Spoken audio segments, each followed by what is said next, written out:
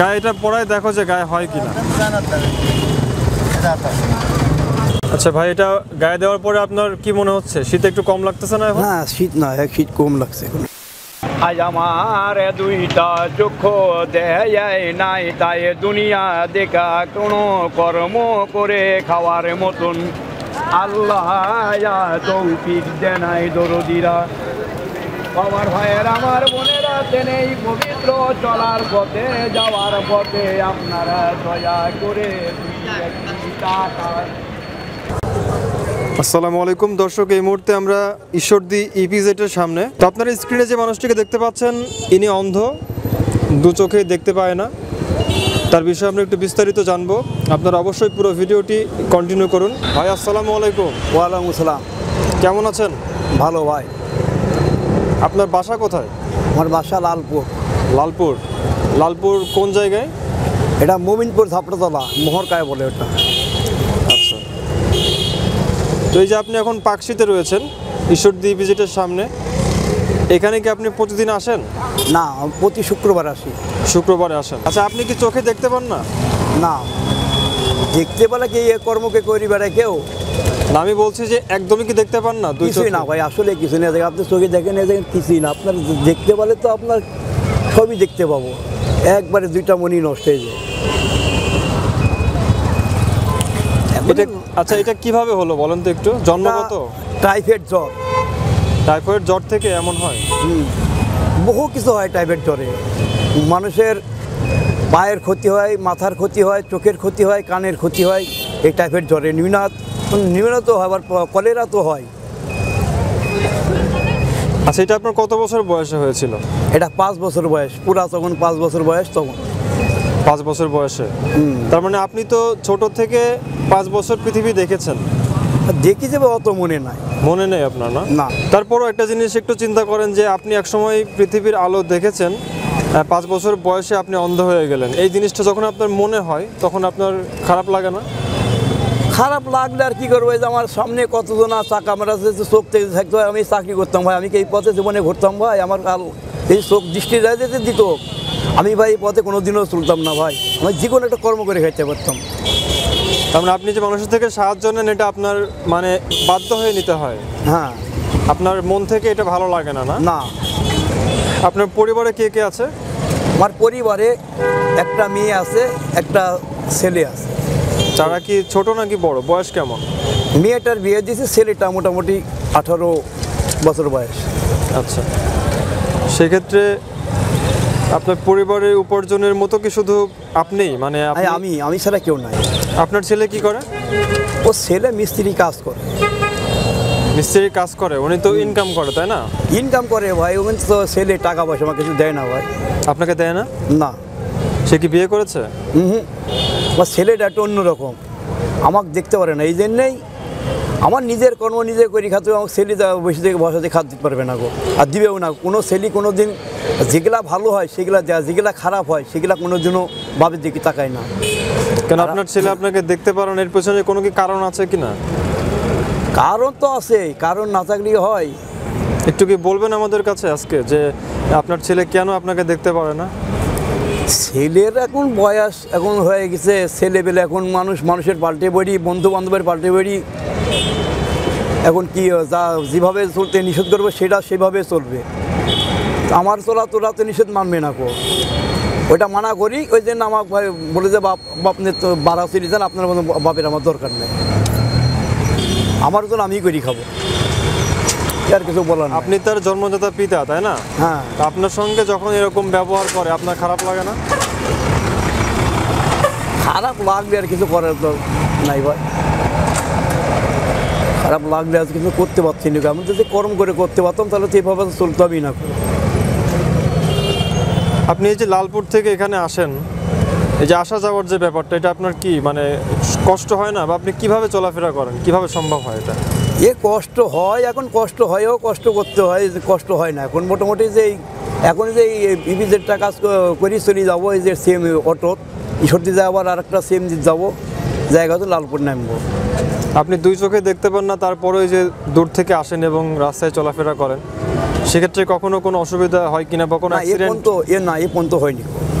Accident হয়নি। না? সেটা মিথ্যা বলে কোনো কাজ নাই। আপনি দুই চোখে দেখতে পান না আপনার সঙ্গে কেউ কি খারাপ ব্যবহার করে বা আপনাকে কেউ অবহেলা করছে বা খারাপ কথা শোনায় বা কেউ বলে ধান্দা করছে এরকম কেউ কিছু বলে কিছু? না ওটা না।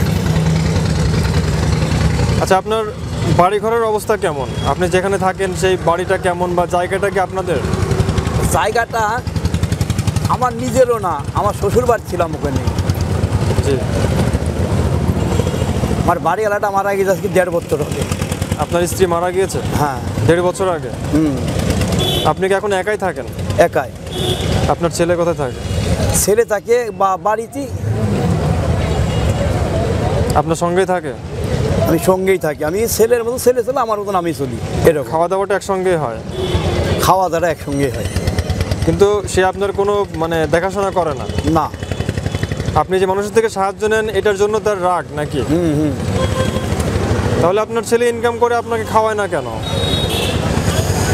এখন ছেলে পেলে ইনকাম করে ছেলে বা একটু অন্যরকম প্রাইভেটের তো আপনারা সব কথা তো বলা যায় না কো বলতে গেলে আমরা খারাপ হয় যেমন ভাই এখন ছেলে পেলে একটু আমার ছেলেটা একটু বিয়াদ ধারণা ঠিক আছে? বা ছেলেটা একটু নিশা ধারণা। এই জন্যে ছেলেকে আমি নিষেধ করি ছেলে আমার শোনে না গো। বুঝলেন তো? এই ধরনে আমি মানা করেছি। আমার ওগুলোকে বাপের আর কোনো প্রয়োজন নাই। এটা মানা করা আমার যাবে না। আপনি শাসন করতে গেলে আপনাকে আরও উল্টা কথা শোনা আমাকে আমি শাসন করতে গেলে আমাকে আরও উল্টোপাল্টা করে কথা বলে। আমি যেটা বলি ভাই সত্য বলি। আমি মিথ্যা কথা বলি অনিকো আর মিথ্যা কথা আমার আল্লাহ যে নাও বলাই আচ্ছা আপনার এই কষ্টের জীবনে সবচেয়ে বেশি কোন জিনিসটা মনে পড়লে আপনার খারাপ লাগে বলেন তো? জিনিস মনে পড়লে খারাপ লাগবে। মানুষের চোখে যে কি কাজ করছে চাকরি করছে আপনারা যেরকম সাংবাদিক হয়েছেন আমারও তো একটা এরকম যদি চোখ থাকে আমি লেখাপড়া শিখে আমি যে কোনো একটা কর্ম করতে পারতাম একটা চাকরি করতে পারতাম তা তো পারছি নিকো এটাই আপনার বেশি খারাপ লাগে। হ্যাঁ এটাই আমার বেশি খারাপ। অনেকে আছে দেখা যায় যে সব কিছু ঠিকঠাক মানে সুস্থ স্বাভাবিক মানুষ তারপরও ভিক্ষা করে। কিন্তু আপনি আসলেই মানে বিপদগ্রস্ত বা আপনার ছেলে আপনাকে দেখে না বিধায় আপনার এই অন্ধ চোখ নিয়ে মানুষের কাছ থেকে সাহায্য নিতে হয় তাই না? জি। আপনার জন্য আমরা কি করতে পারি একটু বলবেন? যে আপনাকে কীভাবে সাহায্য করতে পারি আমরা? তা কীভাবে সাহায্য করব না কীভাবে বলব ভাই? আপনারা আপনার নিজের ব্যর্থভাবে আপনার আপনারা আহ, বাড়ি ঘরের অবস্থা কেমন? আমার বাড়ি ঘর বর্তমান ওই একটা টিনের বেড়া দিস হলো সাপড়া ঘর। আচ্ছা। সেখানে কি আপনার মানে থাকার জন্য যে চৌকি বা খাট তারপরে তোষক এগুলো শীতের লেপ কম্বল। মানে একটা চকি আছে তুষক মুসক ল্যাপটপ নাই। এখন কম্বল টম্বল কাজ দিয়ে থাকি তাই। আচ্ছা। আর এমনি আপনার গায়ের যে পোশাক শীতের পোশাক এগুলো আছে আপনার? এই যে এই দেখছেন এই। আচ্ছা। আপনার কি শীতের পোশাক লাগবে? দিলে দেন মানুষের তো আর বলতে আমরা এখন যে অবস্থানে আছে এখানে সেরকম কোনো মার্কেট আছে কিনা আমরা একটু দেখি। যদি থাকে তাহলে আপনার জন্য আমরা একটা শীতের পোশাক নিয়ে আসছি হ্যাঁ? আচ্ছা দেখেন।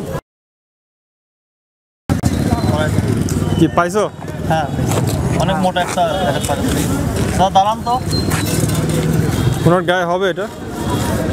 আসলে এখানে আলোর স্বল্পতা দর্শক আপনাদের হয়তো দেখতে অসুবিধা হচ্ছে। আচ্ছা ওনার গায়ে এটা পরায় দেখো যে গায়ে হয় কিনা ডিজাইনার দেবে এটা আপনার ওই হাত ওই হাত ওই হাত।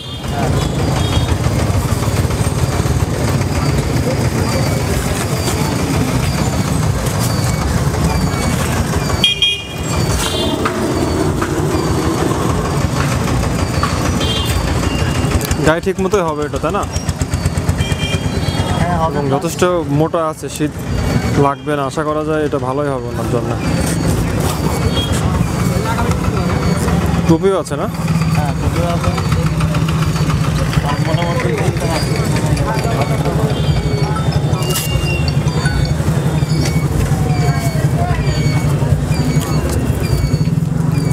আচ্ছা ওনার জন্য খুব পারফেক্ট একটা জিনিস হয়েছে আচ্ছা ভাই এটা গায়ে দেওয়ার পরে আপনার কি মনে হচ্ছে? শীত একটু কম লাগতেছে না এখন? হ্যাঁ শীত না এক শীত কম লাগছে এখন আচ্ছা এটা আপনি গায়ে দিয়ে ভাই আপনি হয়তো বা দেখতে পাচ্ছেন না আমাদের তবে আপনাকে কয়েকটা কথা বলি। আমরা এই কাজটা কিন্তু অনেক বছর ধরে করছি। আপনাদের মতো যারা অসহায় এবং গরিব মানুষ তাদের পাশে আমরা দাঁড়াই এবং আমাদের এই কাজে দেশ এবং বিদেশের অনেক মানুষ সাহায্য করে থাকে। জি। তো আমরা আপনাকে যে জ্যাকেটটা কিনে দিলাম আমাদের এই টাকাটি পাঠিয়েছিলেন সালাউদ্দিন ভাই মালয়েশিয়া থেকে। উনি আমাদের দুই হাজার টাকা পাঠিয়েছিল। আপনাদের মতো মোটামুটি চার থেকে পাঁচজনকে এরকমভাবে সাহায্য করতে বলেছিল। তো আপনাকে আমরা দিলাম এই জ্যাকেটটা কিনে এবং বাদ বাকি তিনশো বিশ টাকা আপনার হাতে আমরা দিচ্ছি। সাহেব টাকাটা তার হাতে দাও। আপনি টাকাটা নেন। এখানে তিনশো বিশ টাকা আছে হ্যাঁ? আচ্ছা আচ্ছা। এই টাকাটা দিয়ে আপনি রাতের খাবার খাবেন এবং আপনার যাওয়ার যে ভাড়াটা এটা ঠিক আছে? এটা আপনার নিজের কাজে লাগাবেন। আর এটা আমাদের হচ্ছে ভিজিটিং কার্ড এখানে আমাদের নাম্বার লেখা আছে। জি। এই কার্ডটা রাখেন। যদি কখনো মনে হয় আমাদের সঙ্গে যোগাযোগ করবেন তাহলে এই নাম্বারে কাউকে গিয়ে বললেই ফোন দিয়ে আপনাকে ধরাই দিবে হ্যাঁ? আচ্ছা আচ্ছা। ঠিক আছে ভালো থাকবেন। আচ্ছা ভাই আমার নামও কিন্তু বিপ্লব ঠিক আছে? বিপ্লব নামটা একটু আপনি দেখি একটু মনে করে রাখেন। আচ্ছা। তো ঠিক আছে আপনি ভালো থাকবেন আর এখন তো চলে যাবেন তাই না? জি আমি এখন এই যে একটু এই সারটা একটু কর্ম কর্ম করে চলে যাব। আচ্ছা। দর্শক আপনারা যারা দেখছিলেন হয়তো বা আপনারা বুঝতে পেরেছেন যে এই মানুষটির কতটা কষ্ট এবং দুঃখ। আমরা সবাই যারা চোখে দেখতে পাই এই পৃথিবীটা দেখতে পাচ্ছি ঠিকমতো চলাফেরা করতে পারছি কিন্তু এই মানুষটা চোখে দেখতে পায় না। তার কতটা কষ্ট একটাবার চোখ বন্ধ করে একটু চিন্তা করে দেখেন তাহলে বুঝতে পারবেন। আপনারা সকলেই অসহায় মানুষের পাশে দাঁড়ান গরিব মানুষের পাশে দাঁড়ান দেখবেন মন থেকে একটা তৃপ্তি এবং ভালো লাগা কাজ করবে এবং আল্লাহ তালা অনেক খুশি হবেন। আমাদের এই কাজটি আপনাদের ভালো লাগলে অবশ্যই অবশ্যই ভিডিওতে লাইক করবেন এবং আমাদের চ্যানেলে যারা নতুন, তারা অবশ্যই সাবস্ক্রাইব করে যুক্ত থাকবেন। পরবর্তী ভিডিওতে আবারও দেখা হয়ে যাবে ইনশাল্লাহ আজকের মতো এই পর্যন্তই। আল্লাহ হাফেজ।